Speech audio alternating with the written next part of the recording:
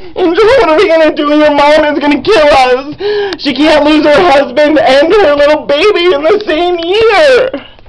Oh my god, Angel, think, where, if you were a giant baby like Scooter, where would you go?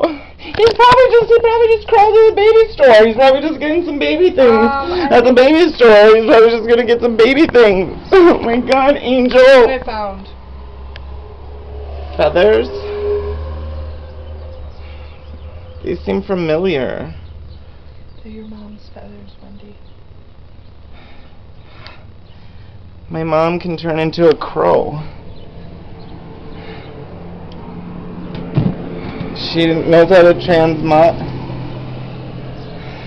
My mom took Scooter? Yeah. Why in the world would my mom take Scooter? I don't know. Angel, don't jump to conclusions.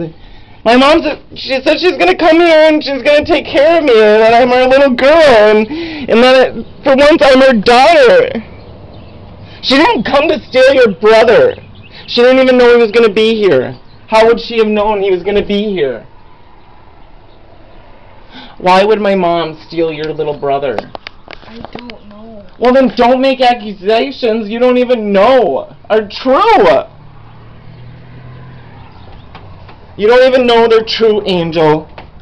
Why would my mom steal your brother?